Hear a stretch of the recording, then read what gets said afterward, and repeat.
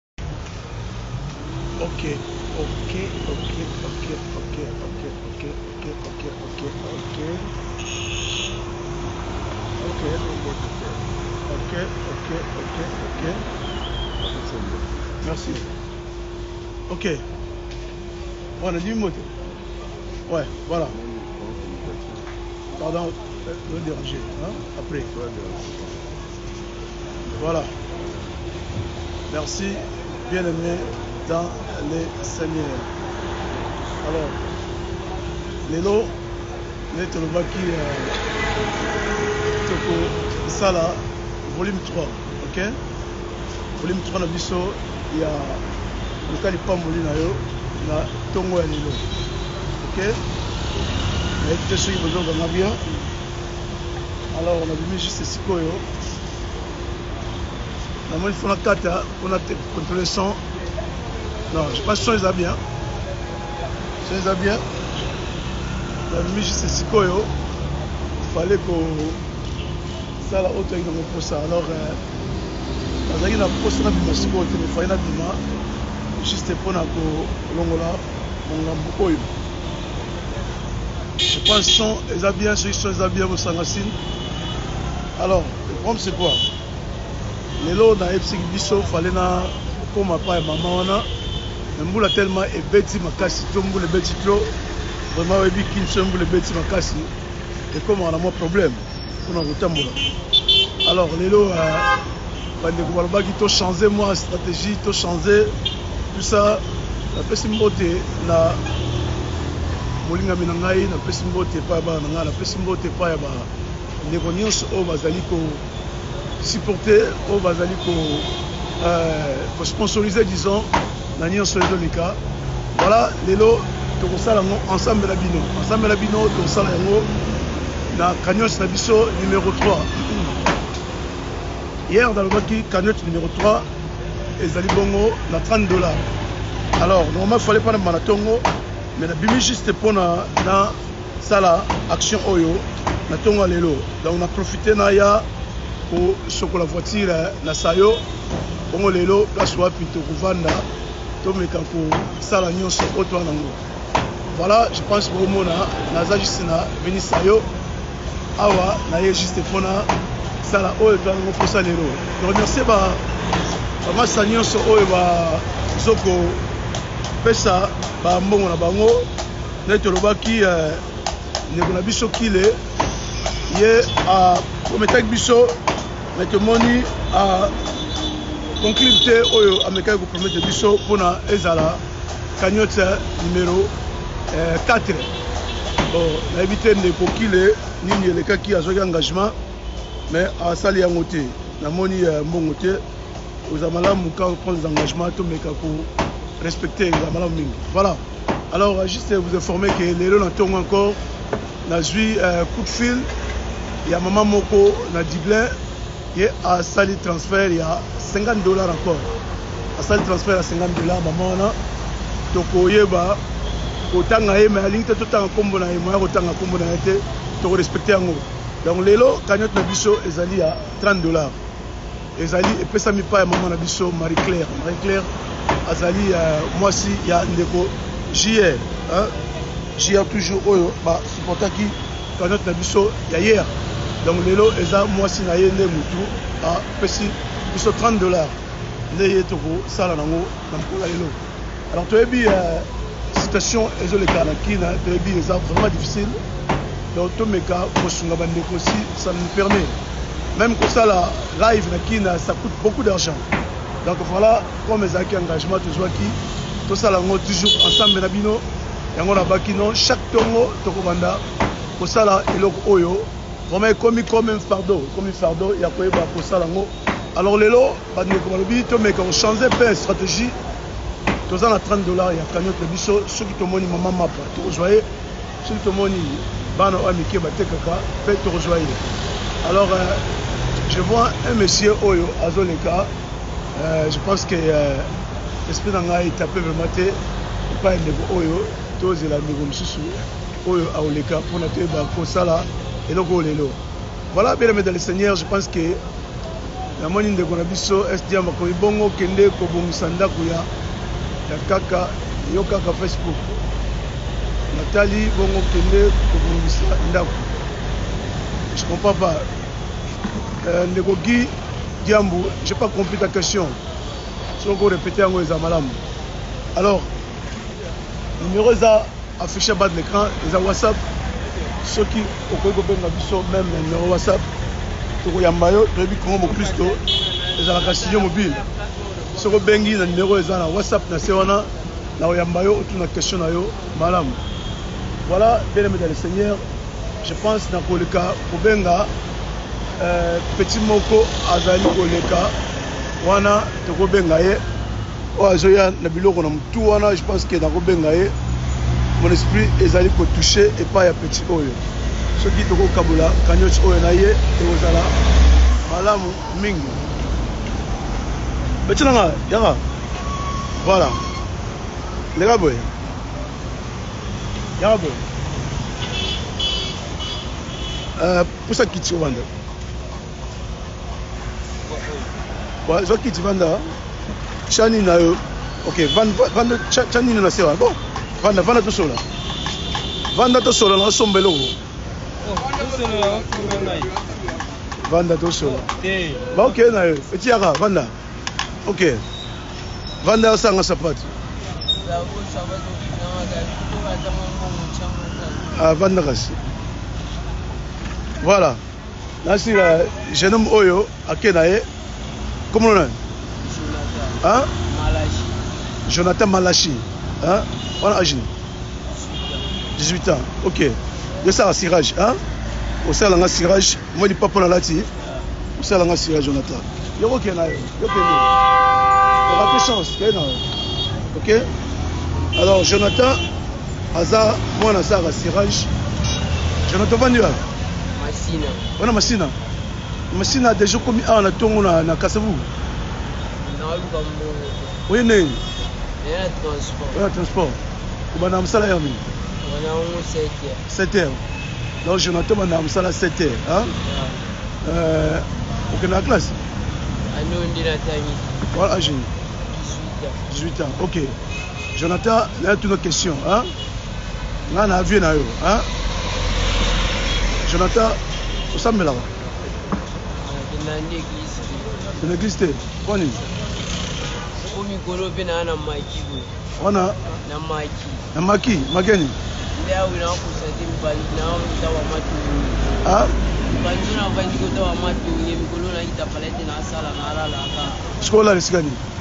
Na DGRK. Na DGRK.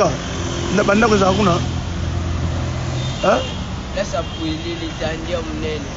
OK bon. Jonathan sala nga na sapote na ngai. Jonathan sala nga sandal na ngai. Alika ah, ngo bien là. Nete osona Jonathan. Hein? Jonathan sikoyo yo ndenge ezalaka boye so obimi bana ntongo okokotisa combien aya mosusu omona ba 12000 wana banda eh, banda ntongo ti heure nini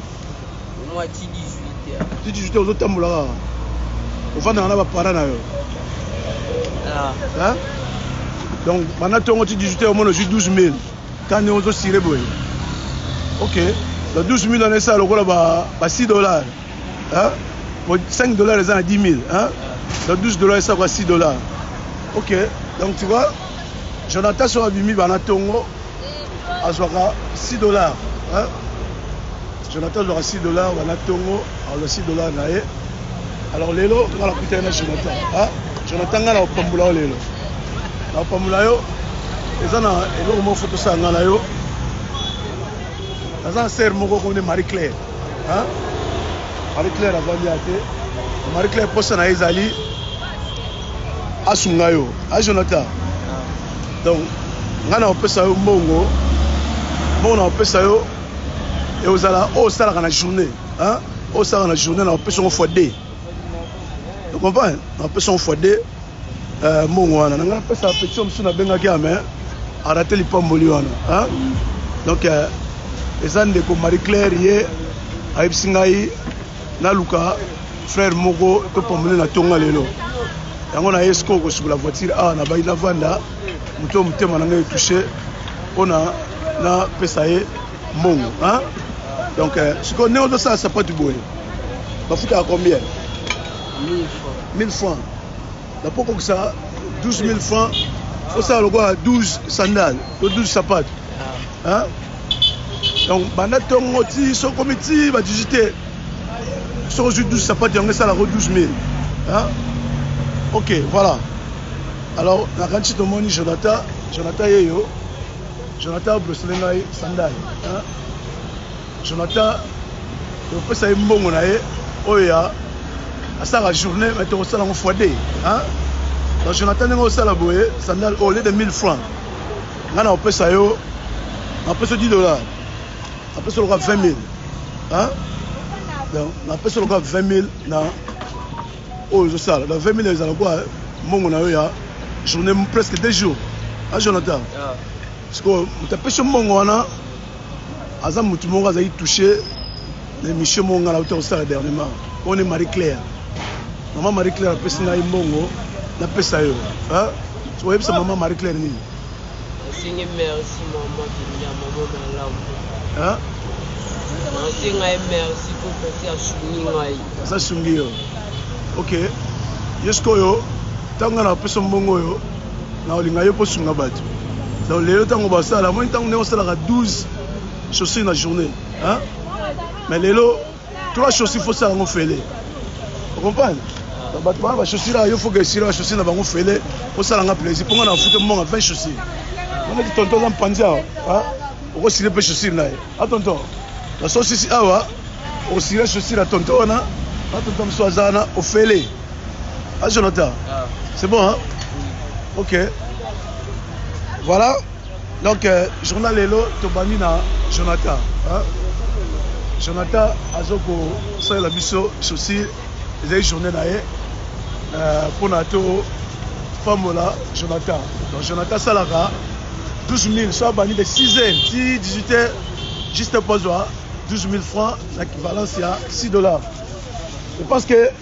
Noko yaka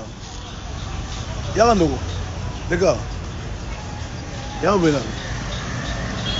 yoko mona Fabrice Fabrice Fabrice pour soma muke pona film bien ok Fabrice oteka nini ozoteka chips ya makemba chips makemba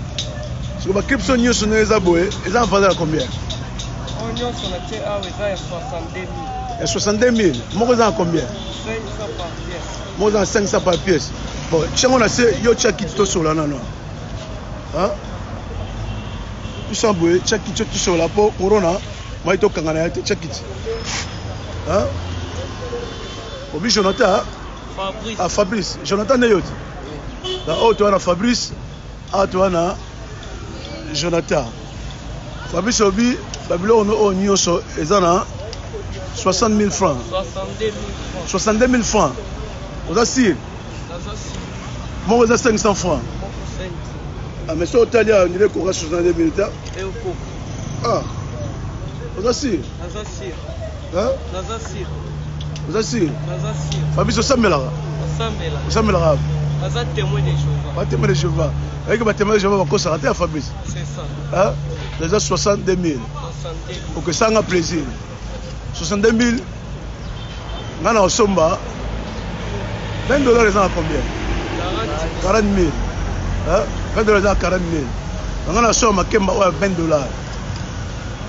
Hein? Sikoyo si onasio makemba 20 dollars yo okozwa ne fils que 5000 okabula bato mpo ngai naopambola yo okopamba na lobi tendele kopani te na bini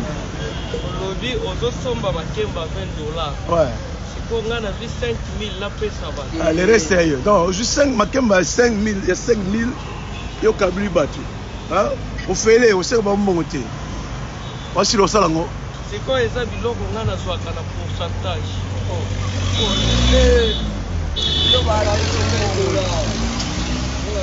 est-ce que okompane mamna oloba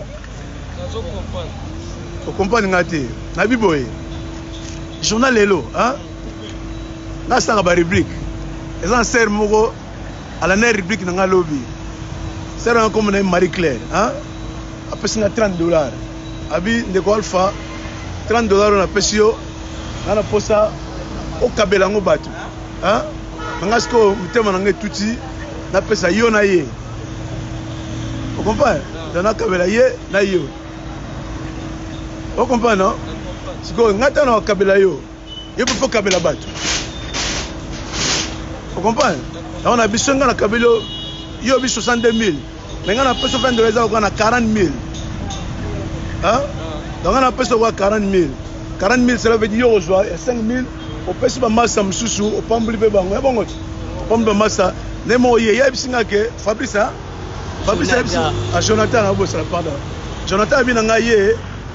A salaka 12000 francs soit bandi 6h ti 18h na sandal boye ezaka 1000 francs mais ngana yebike na futaka nanga 500 francs soba nettoyer boye oya 1000 francs ndimi ye mais nga sikoyo na pesa mbongo ya double ya journal lelo mais azo obligé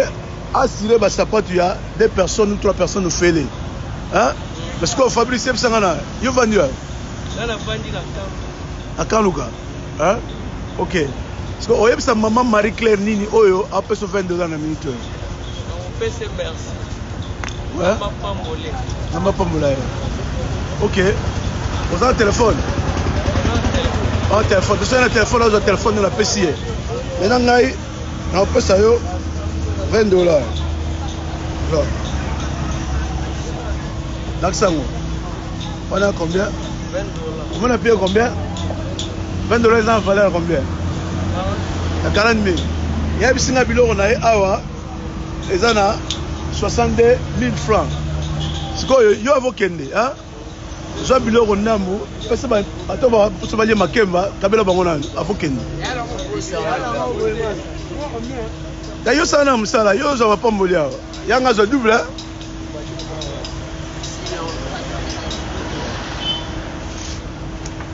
ok oyo fabrice fabrice a fabrice yeyo azwi lipamboli akabi okabi kaka ndambo moko asamisa papa na 5 000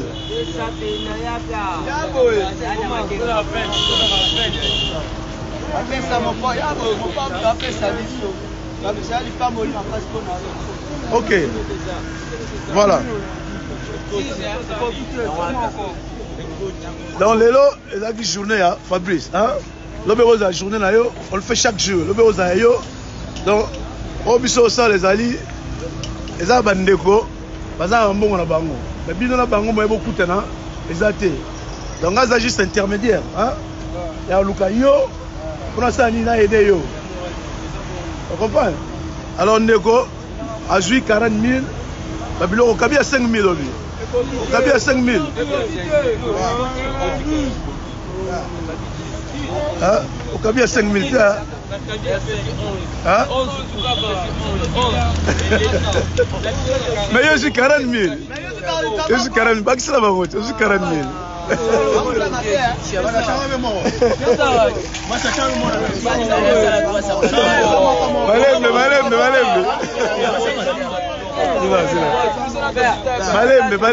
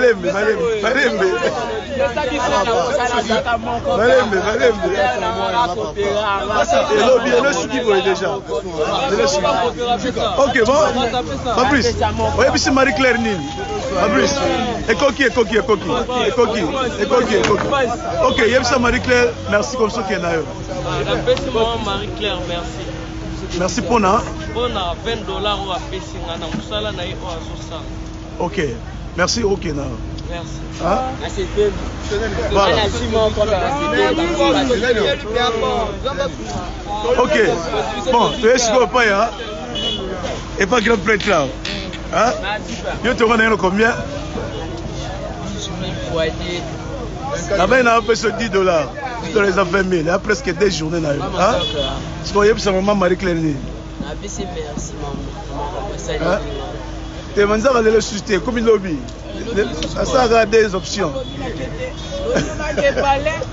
kende sala sapatu kuna bapesa mbongo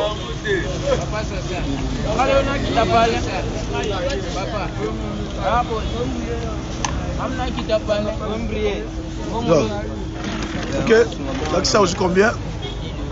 10 dollars donc eza journée na yo esili ozwi lokola presque deux journée ya lelo Hein? Yo sikoyo nayebisaki yo aider trois personnes sire basapatu na bango ofele hein? oyebisa mama baclaire nini ami yo sikoyo okende eglise oyebisa te nzambe apambola ye eh?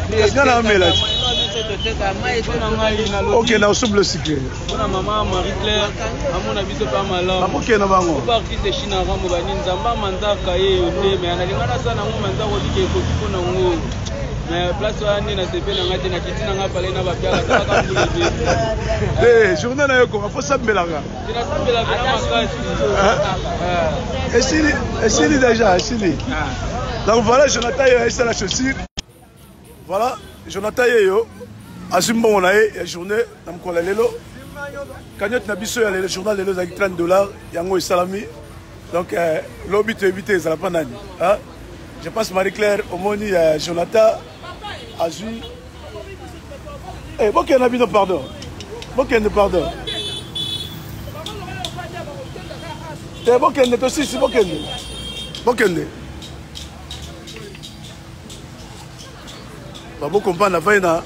na bara batu bokende bokende noko nga abengi mutu ta yaka abengi mutu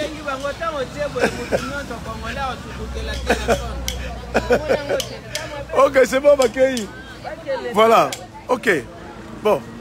marie claire je pense que euh, citation eleki oyo tozalaki na yango tosala na ntongo je pense esalami omoni bango meme komelanse nga na bana bato parce que population ya trop mingi alobi ya susu te je pense eh, ezalaki volume 3 lobi oza na volume 4 eh. volume 4 ekanete na biso eza 50 dollars donc 50 dollars toza nango déjà eh, non non tobosani toza na volume 4 eza 25 dollars 25 dollars epesami mpa ya eh, john mandungu mangenge donc john mangungu mangenge lobi asalelaki biso eh, paypal ya 25 dollars donc demain on va le faire tokosala cagnotte ya 25 dollars lobi na de la part ya john mandungu à part john mandungu toza na évangéliste maku asali biso cagnotte ya 20 dollars alors soki bosali bacagnotte bozala sire bootindela biso mbongo wana mpo to se servir nango Voilà, je pense que Ndeko Kile a promis avec Bissot jusque-là, tozwi nanu euh, mbongo na ye te voilà oyo ezalaki juste cagnote na biso ya journal lelo tomeka ko aide bandeko je pense lelo toyaki na stratégie mosusu esili ok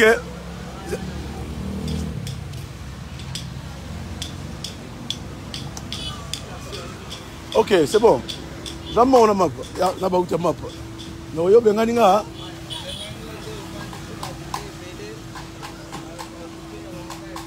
noko abengani nga na kena nga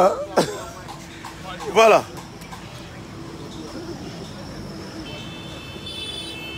ouais, je pense que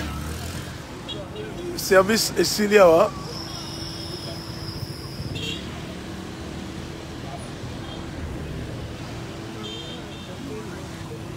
service na biso esukili awa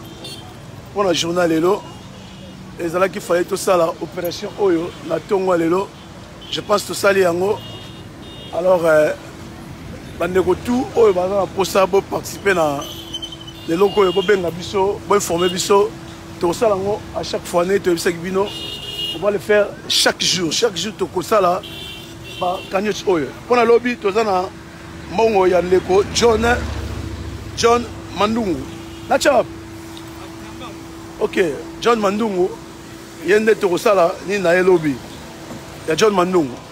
molimbisi aske banonso kolanga voiture ya john mandungu nde tokosala yango lobi na ntongo ya 25 dollar donc euh, john mandungu na ntongo 25 dollar nde tokosala oyo ya ye ndeko na biso kile to répète encore a prometaki mais a réaliser te c'est pas grave toza na 50 dollars mosusu to tozwa na ntongo ya lelo eza ya mama moko na tala apesi biso 50 dollars abi toloba nkombo na ye te donc wana tokosala yango alors pale tokende pa ya mama oyo tolobaki tokoleka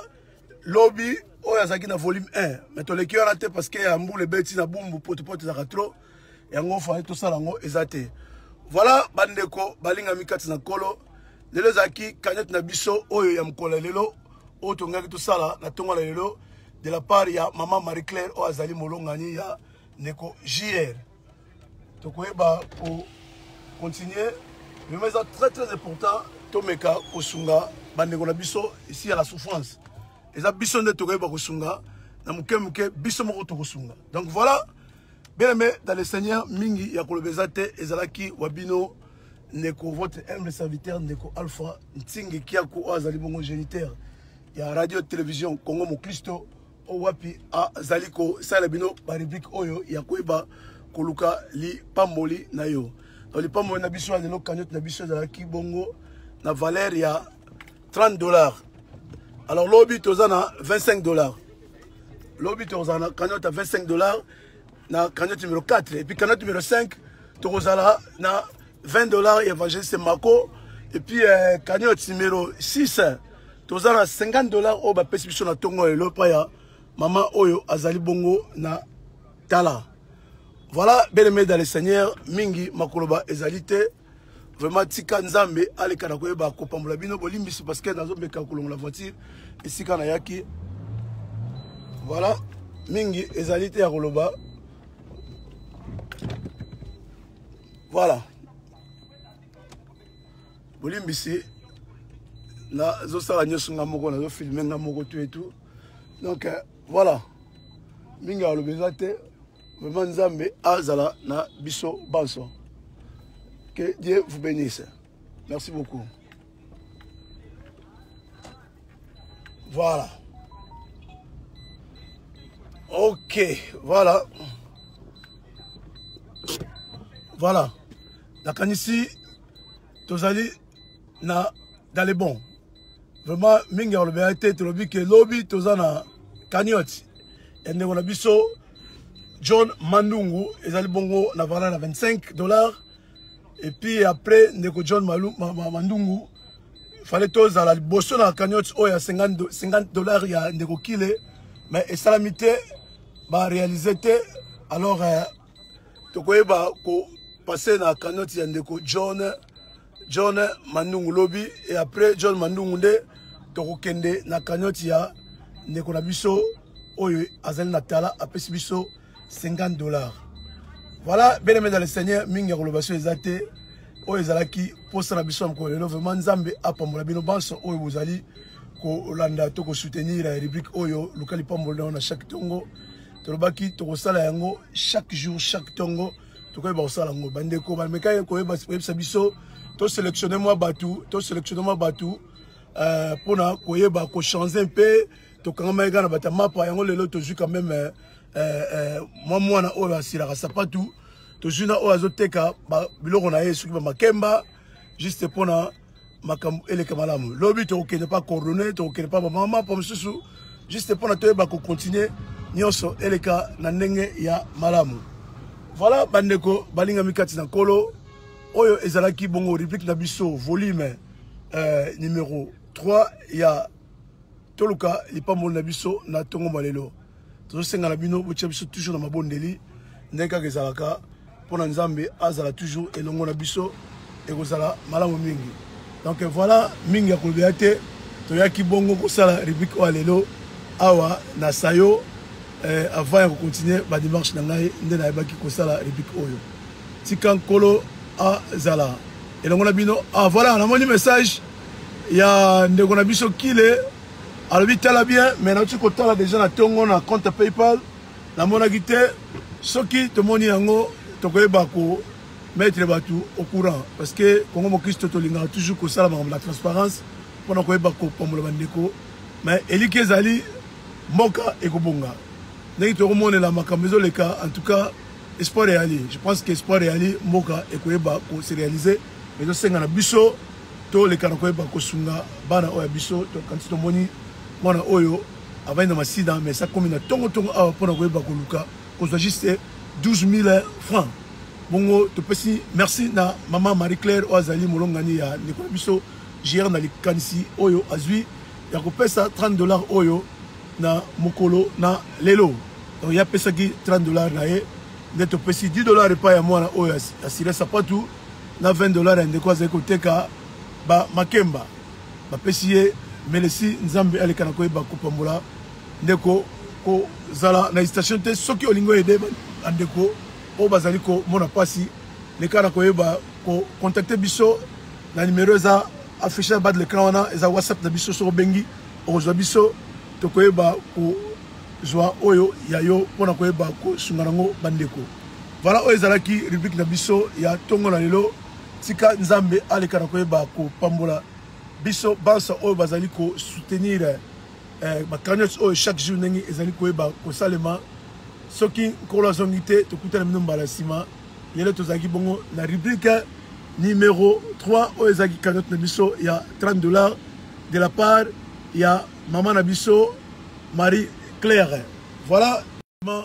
nzambe azala elongo na bino lobi tokozala na cagnote mosusu ya ndeko na biso john mandungu soki toconfirme cagnote ya ndeko kile milema ya 50 dollar nde tokoyeba kosala yango encore kasi tobosani te tozali na cagnote mosusu ya 50 dollar ya mama moko apesi biso na mboka tala ye tokoyeba kosala yango mokolo na samedi vraiment tozali bongo na bacagnote na biso avance déjà oyo ezali malamu lobi toali na 25 nsima lobi toali na 50 nsima kuna susu soki toconfirme toali na 50 accord epe tokozala su na 20 donc tokoyeba kokondia yango boye ki meda le seigneur mingi akoloba eza te napesi mbote epai ya molongani na ngai mama hortense oyo nazali ko miss mingi vraiment elongo na bana nzambe asila koyeba kozala na bino nzambe azali kobatela toujours merci na bandeko banso bazali kosoutenir eh, rubrike oyo luka lipamboli na yo na ntongo que dieu vous bénisse encore na manso oyo bozali koyeba kosala mpona koyeba kosoutenir radio télévision congo mokristo tobosani te bosabone na chaîne na biso youtube na congo mokristo tv ou encore na radio na biso congo mokristo radio fm oyo ezali bongo 24 heures sur 24 heures manso oyo ezali koleka merci beaucoup que dieu vous bénisse